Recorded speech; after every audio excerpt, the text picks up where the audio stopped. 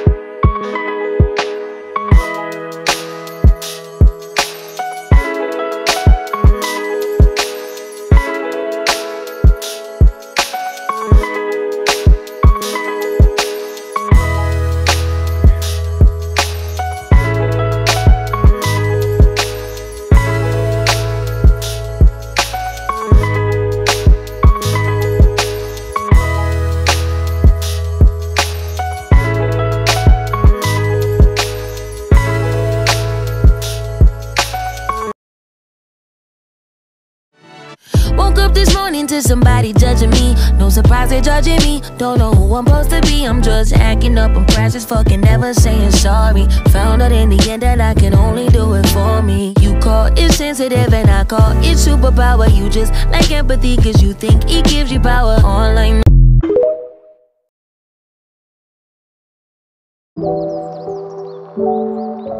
Thank you.